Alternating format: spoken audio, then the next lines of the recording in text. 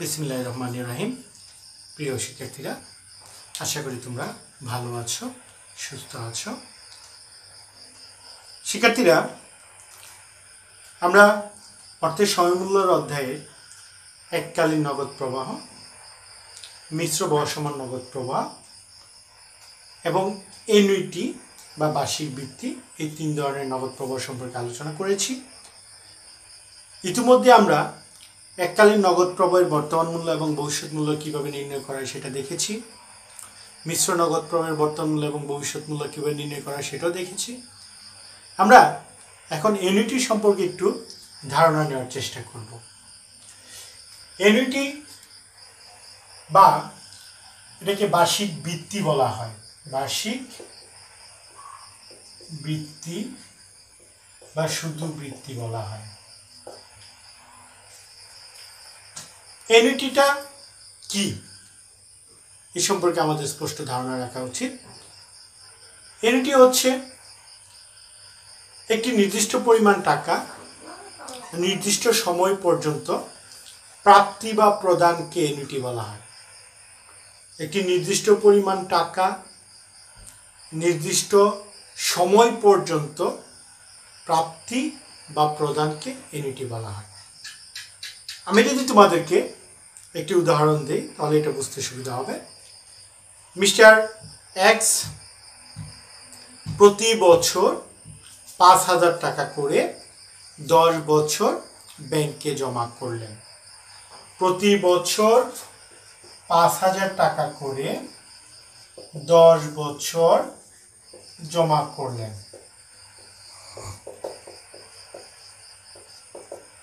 একটু খেয়াল করো কি বলেছে। প্রতি বছর পাঁচ হাজার টাকা করে।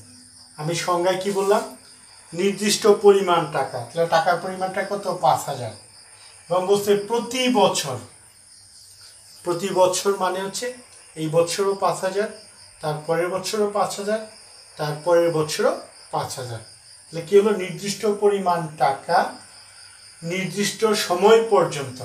দেখো আমি বলেছি দশ বছর। যে প্রতি বছর পাঁচ হাজার টাকা করে দশ বছর। তো সময়টা হচ্ছে দশ বছর, নির্দিষ্ট করে দেওয়া আছে।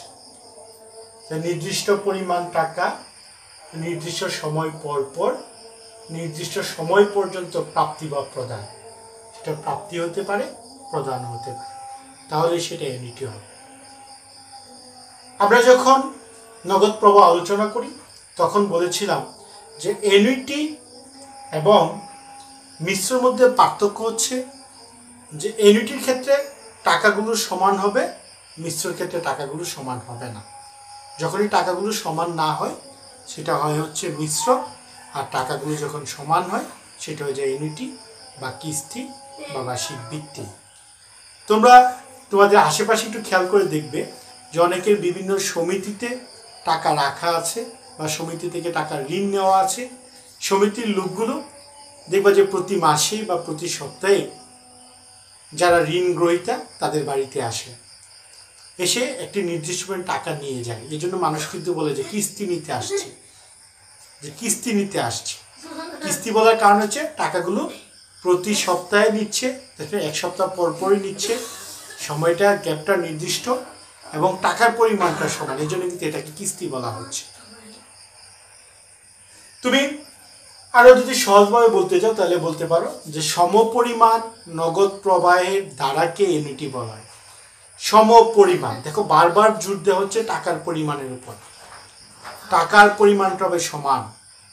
এই জন্য বলেছে যে সমপরিমাণ নগদ প্রবাহের ধারাকে ইউনিটি বলা হয়। ইউনিটিকে সাধারণত দুই ভাগে ভাগ করা হয়। একটি হচ্ছে সাধারণ ইউনিটি একটা হচ্ছে।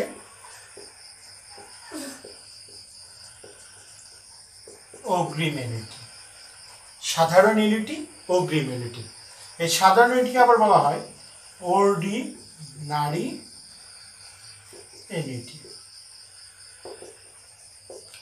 অগ্রিম ইউনিটিকে বলা হচ্ছে ইউনিটি ডিউ। দেখো, যে সাধারণ ইউনিটি আমি এনইটির সংজ্ঞায় কি বলেছিলাম? যে নির্দিষ্ট পরিমাণ টাকা নির্দিষ্ট সময় পর পর প্রাপ্তি বা প্রদানকে এনইটি বলা হচ্ছে। সাধারণ ইউনিট হচ্ছে সেটাই যে ইউনিটির ক্ষেত্রে টাকাগুলো নির্দিষ্ট সময় শেষে প্রদান করা হয়। নির্দিষ্ট সময়ে শেষে প্রাপ্তি বা প্রদান। যদি এরকম বলা হয় যে মিস্টার এক্স প্রতি বছরের শেষে দশ হাজার টাকা করে দশ বছর জমা করলেন। তাহলে প্রতি বছরের শেষে জমা করলেন, এটা হচ্ছে সাধারণ এটি। বা যদি বলা হয়, প্রতি মাসের শেষে দশ হাজার টাকা করে জমা করলেন, তাহলে সেটাকে বলা হচ্ছে সাধারণ এটি, কারণ এটা শেষে দেওয়া হচ্ছে। অথবা যদি এরকম বলে যে, মিস্টার এক্স, প্রতি মাসে দশ হাজার টাকা করে জমা করলেন। পূর্বের আলোচনায় তোমরা শুনেছ যে শুরু বা শেষ কোনো কিছু উল্লেখ করা না থাকলে সেটাকে শেষ ধরতে হয়। এখন এই যে বলল, প্রতি মাসে দশ হাজার টাকা করে জমা করলেন। শুরু বা শেষ কোনো কিছু উল্লেখ করা নেই, তার মানে কি শেষে? শুরু বা শেষ কোনো কিছু উল্লেখ করা না থাকলে সেটাকে কী করতে হয়? শেষে ধরতে হয়। আর যখনই সেটা শেষে হবে, সেটাকে বলা হবে সাধারণ এনইটি তো সাধারণ এনইটি হচ্ছে যে টাকাগুলো নির্দিষ্ট সময়ের শেষে প্রদান করা হবে বা পাওয়া যাবে। নির্দিষ্ট সময়ের শেষে প্রাপ্তি বা প্রদানকে সাধারণ ইউনিটি বা অর্ডিনারি ইউনিটি বলা হচ্ছে। নির্দিষ্ট সময় বলতে গেলে সেটা নির্দিষ্ট প্রতি সপ্তাহে হতে পারে, প্রতি মাস হতে পারে, যে প্রতি মাসের শেষে, প্রতি সপ্তাহের শেষে হ্যাঁ? প্রতি বছরের শেষে এগুলোকে বলবা সাধারণ ইউনিটি বা অর্ডিনারি ইউনিটি শেষে উল্লেখ করা থাকবে, অথবা যদি কোনো কিছু উল্লেখ না থাকে, শুরু বা শেষ, কোনো কিছু উল্লেখ করা না থাকে, সেটাকে আমরা শেষ হিসাবে বিবেচনা করব এবং তাকে আমরা সাধারণ ইউনিটি বা অর্ডিনারি ইউনিটি বলব। একটা দেখো কি বলেছি? অগ্রিম এনুইটি বা এনুইটি ডিউ অগ্রিম এনুইটি বা এনুইটি ডিউ হচ্ছে যখন টাকাগুলো নির্দিষ্ট সময়ের শুরুতে পাওয়া যায় বা প্রদান করা হয়। নির্দিষ্ট সময়ের শুরুতে প্রাপ্তি বা প্রদানকে অগ্রিম এনুইটি বলা হচ্ছে। যেমন, মিস্টার এক্স প্রতি বছরের শুরুতে দশ হাজার টাকা করে ব্যাংকে জমা করেন। তাহলে প্রতি বছরের শুরুতে জমা করেন, শুরুতে উল্লেখ করা আছে, তাহলে সেটা অগ্রিম এনুইটি অথবা বলল, মিস্টার এক্স প্রতি মাসের শুরুতে, প্রতি মাসের শুরুতে ব্যাংকে দশ হাজার টাকা করে জমা করলেন শুরু উল্লেখ করা আছে। তার মানে এটা হচ্ছে অগ্রিম এনুইটি তাহলে সাধারণ ইউনিটি এবং অগ্রিম ইউনিটির মধ্যে পার্থক্য হচ্ছে যে সাধারণ ইউনিটি নির্দিষ্ট সময় শেষে টাকার প্রাপ্তি বা প্রদান হবে আর অগ্রিম ইউনিটির ক্ষেত্রে নির্দিষ্ট সময় শুরুতে। তোমরা যখন অঙ্ক করতে যাবে, যখন কোনো কিছু উল্লেখ করা থাকবে না, তাহলে সেটাকে কোনো কিছু বলতে গেলে শুরু বা শেষ কোনো কিছু উল্লেখ করা থাকবে না, তখন সেটাকে তোমরা সাধারণ ইউনিট হিসেবে বিবেচনা করবে মানে শেষে ধরে নিতে হবে। ইউনিটির অঙ্ক করার ক্ষেত্রে তোমাদের নতুন করে দু একটা টার্ম মনে রাখতে হবে। আমি সূত্রগুলো লিখি, তাহলে তোমাদের টার্মগুলো আয়ত্তে চলে আসবে। যদি তোমাকে প্রেজেন্ট ভ্যালু ইউনিটির কথা বলে আমরা পিভি মানে হচ্ছে প্রেজেন্ট ভ্যালু এ মানে হচ্ছে ইউনিটি এটার সূত্রটা হচ্ছে A into one minus one by one plus I to the power N divided I এখানে P V A P V মানে প্রেজেন্ট ভ্যালু আর এ মানে হচ্ছে এনইটি মানে এনইটির বর্তমান মূল্য। পিভি মানে হচ্ছে এনইটির বর্তমান মূল্য। এ মানে হচ্ছে কিস্তির পরিমাণ। এ মানে হচ্ছে কিস্তির পরিমাণ বা এনইটির পরিমাণ। এ মানে হচ্ছে কিস্তির পরিমাণ বা এনইটির পরিমাণ। তোমরা কীভাবে বুঝবে এটা এর মান? হয়তো এরকম বলে দিল যে মিস্টার এক্স প্রতি বছর দশ হাজার টাকা করে জমা করেন।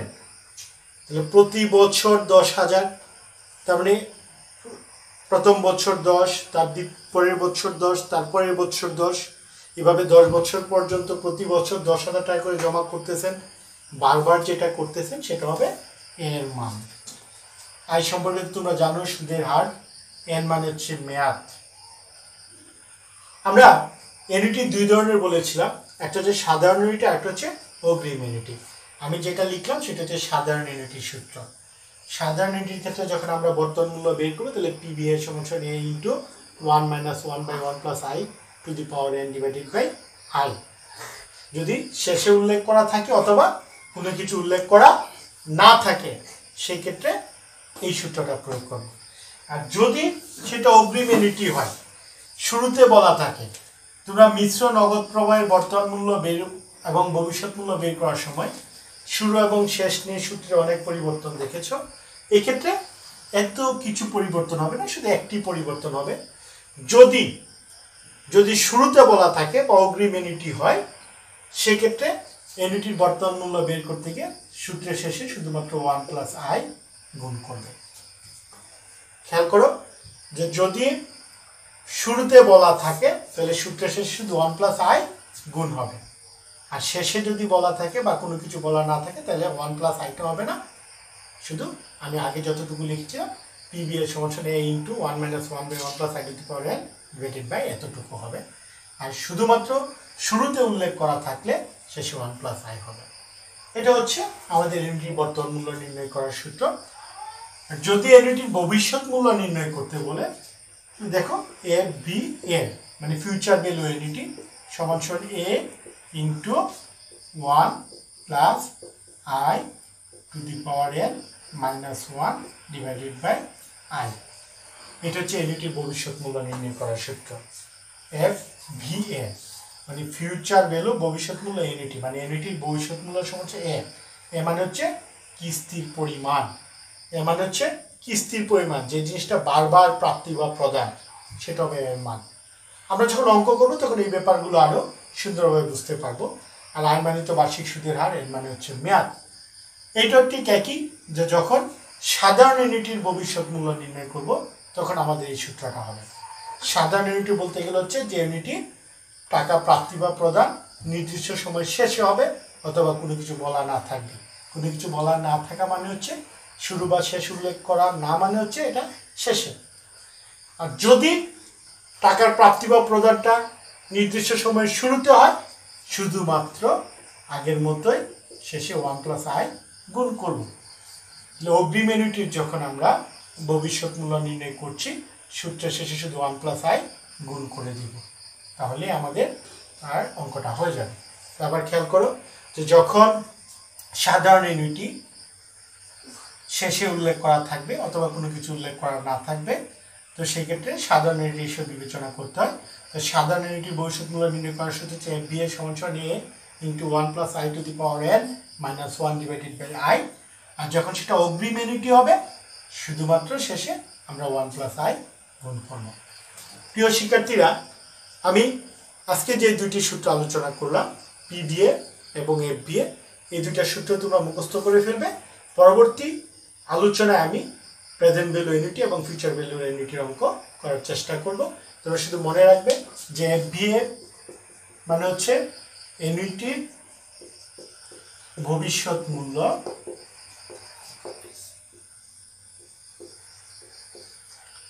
পিভিএ মানে হচ্ছে ইউনিটির বর্তমান মূল্য। আর এ মানে হচ্ছে কিস্তির পরিমাণ, আর বাকিগুলো তো আগে তোমরা আয় সমান সমান কি এন সমান সমান এগুলো আগেই তোমরা জেনেছ। ইউনিটির ভবিষ্যৎ হচ্ছে এফ বিএ ইউনিটির বর্তমান মূল্য হচ্ছে পিবিএ এ মানে হচ্ছে কিস্তির পরিমাণ। তো তোমরা দুটি সূত্র খুব ভালো করে মুখস্থ করবে হ্যাঁ? সূত্রটা হচ্ছে এফ বি এর সূত্রটার উপর লেখা আছে, আর পিবি হচ্ছে A into one minus one by one plus I to the power N divided by I এটা কিসের? সাধারণ ইউনিটির বর্তমান মূল্যের সূত্র। আর এতটুকু হচ্ছে সাধারণ ইউনিটির ভবিষ্যৎ মূল্যের সূত্র। আর যদি সেটা অগ্রিম ইউনিটি হয় বা ইউনিটি ডি হয় শেষে শুধু ওয়ান প্লাস আই হলে হবে। তো প্রিয় শিক্ষার্থীরা, তোমরা সূত্র দুইটা মুখস্থ করার চেষ্টা করো। পরবর্তী আলোচনায় আমরা এই সূত্রের উপর অঙ্ক করার চেষ্টা করব। সে ভালো থাকো, সুস্থ থাকো, আল্লাহ হাফিজ।